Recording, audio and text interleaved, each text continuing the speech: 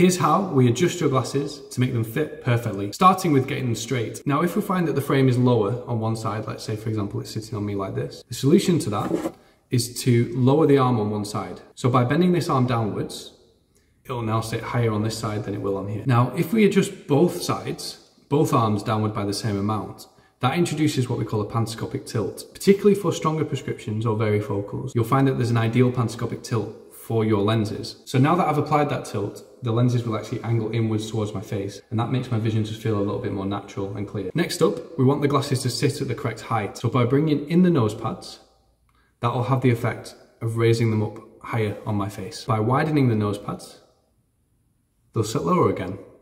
Finally, you want your glasses to be adjusted around your ears. What we're gonna do is curve this just like so, with a gentle, smooth curve. So once your glasses are fitted, not only will they be comfortable, but they won't move and your vision will be perfect.